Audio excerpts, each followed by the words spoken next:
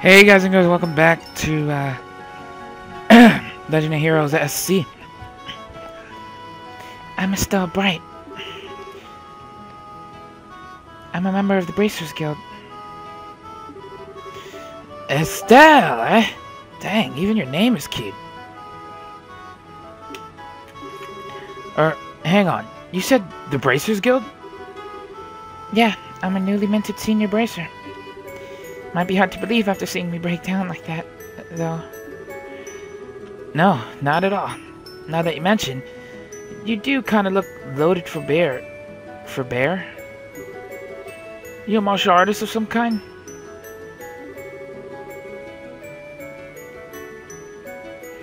I guess you could call me that. I focus on the on staff combat.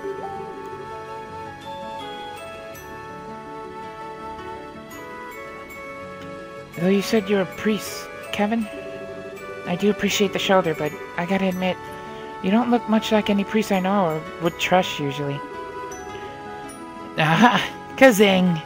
Through the chest, my dear, madame. Well, I'll admit that us wandering priests are sheep of a different color. Wandering what now? Well, okay. You know how there's villages and farms and whatnot without churches, right? My order heads to such places at set times each year and offers church services and teaches Sunday school.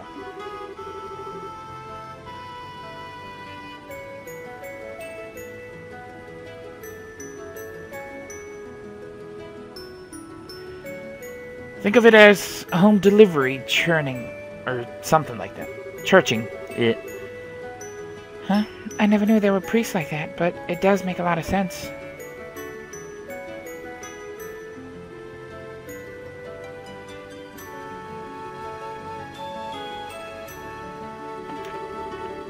And unlike church-bound priests, there's a lot of us who are more carefree about dress code.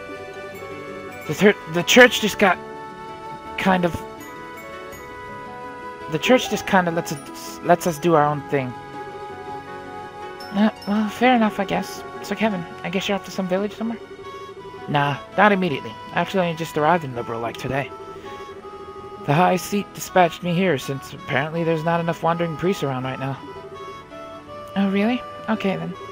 The High Seat. They mentioned that in Sunday school, but I don't remember where.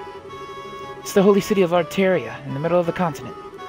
Anyway, I figured I'd do a bit of sightseeing before I went and reported my assignment to the Bishop of Grancel Cathedral. And, well, here I am. Uh, that seems just a bit irresponsible to me.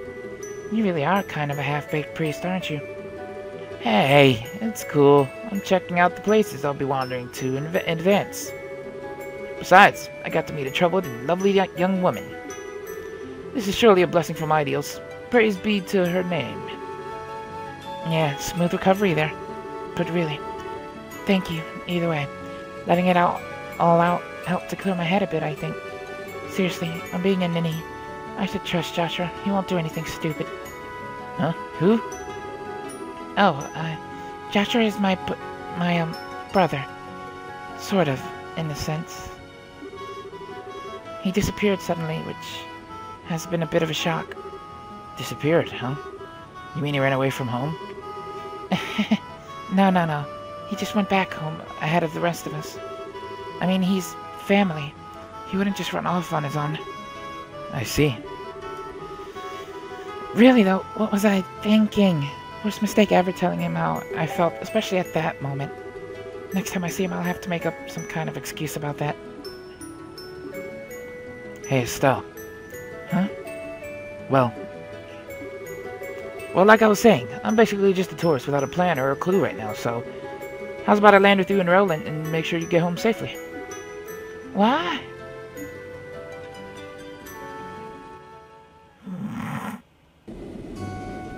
I feel like he could sort of get the guys that she's not gonna find Joshua at home. No way. No how. I'm curious though if um the scene that she seen um that we seen at the end of uh the um of the first game is, is gonna play out like like she finds um I think it was like Joshua's watch or something back at the house which like sprung her to kind of find find uh, find him Spoiler alert, of course, if you haven't seen my playthrough. I don't know why you haven't watched it. It's so good. Ah, smell that fresh air. So this is Rolent, huh? Gotta admit, though, feels a bit like a backwater farming village with an airship dock dropped on it.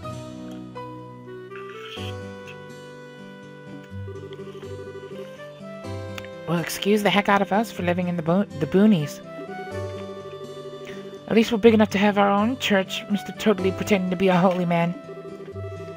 Oh, I'd better go pay my respects over there once we're done. So still, which one of these fine boony shacks is yours? Uh, setting the boony shacks bit aside, you really don't need to escort me home, you know. It's just outside town, crying fits aside, I am... I am a bracer. I can take care of myself. nah, don't worry about it. It's a duty of us real manly men to make sure a lady gets home safely. Besides, I'm looking forward to meeting this boyfriend of yours. but, but boyfriend isn't the term I think I'd use. M maybe.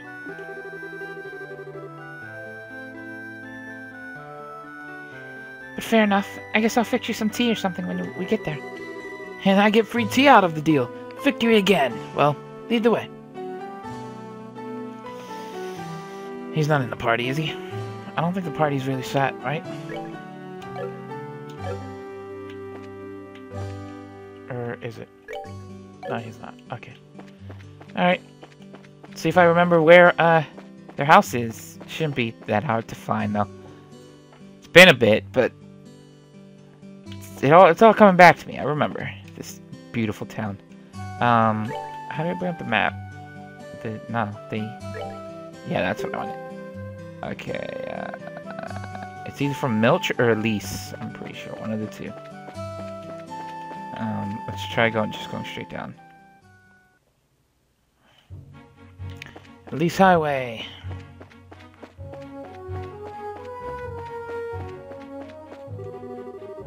City of Rolent, West, yeah, Bright Family House.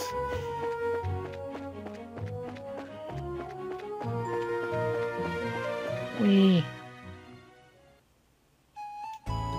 Ah, the memories. The Bright family house. Huh, so this is your place to sell? It's got a, how to put this, a warm, homey feel to it. yeah, I know. Place holds a lot of memories for me, for Dad, and for Joshua too. So I can see. And you think Joshua's going to be just inside, right? Yeah, I'm sure he is. Come on, I'll introduce you to him. He'll he'll like you, I think. He knows ain't nobody in there. Man, who is this guy? Number he's done, he's done on her. Well, let's get this over with. Aidios gives her strength.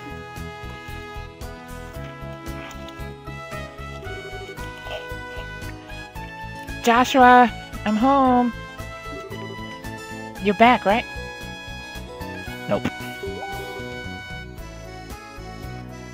That's weird. I'm sure he must be here. Uh, maybe he's in Dad's study. So in denial, it's terribly sad. J Joshua?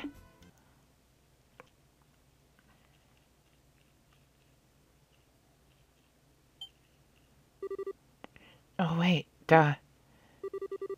It's possible he's in my room looking for something, right? Did I leave some underwear or something laying around?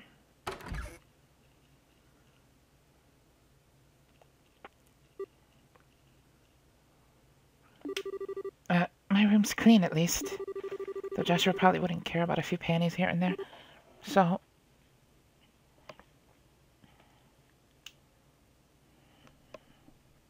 She's gonna break down in his room, isn't she? I feel it. Joshua, I'm coming in, okay?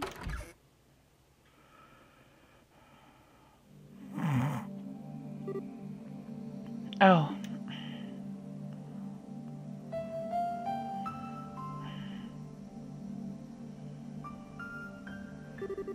Of course.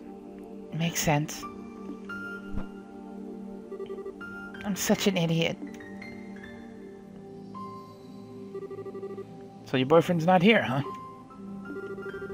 Or, hey, maybe we missed him?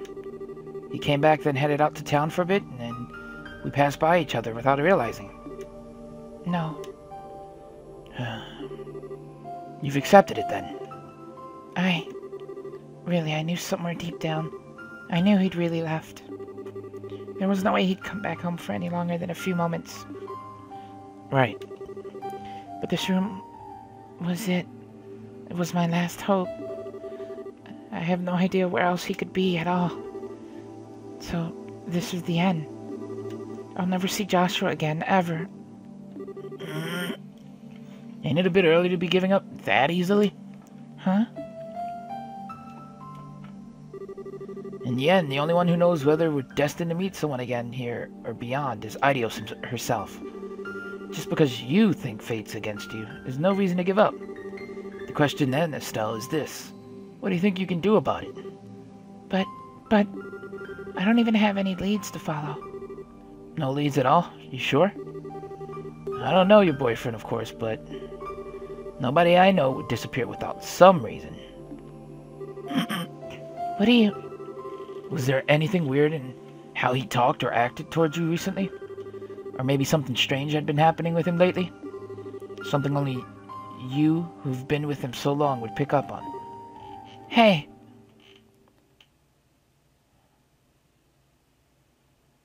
the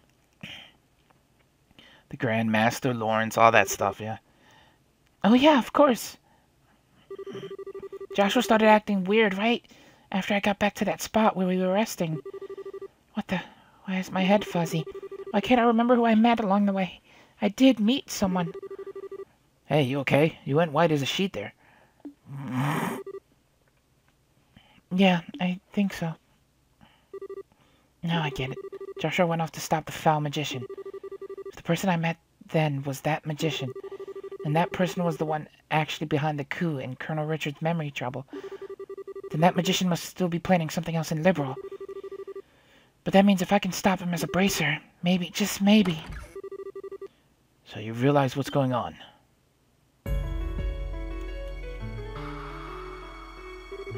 Dad, Schera, why are you here? Sorry, Estelle. When we touched down, I took the liberty of contacting the Guild's Grancel branch on the sly. Oh. Estelle, honey. You scared the pants off of us running away like that. We were at the Grancel Guild House trying to find you when the call came in. We barely managed to catch a departing freightliner out of here.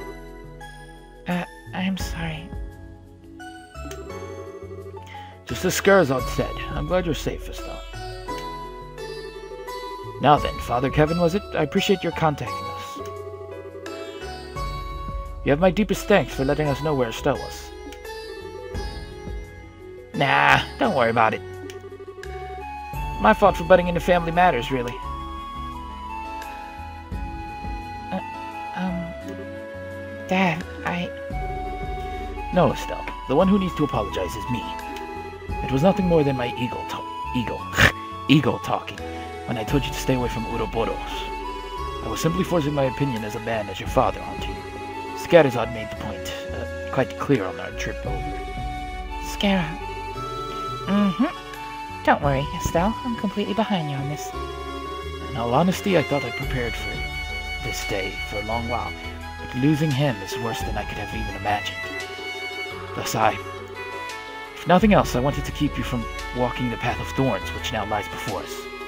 I couldn't bear the thought of you sharing Lena's fate, of you losing your life to protect someone else.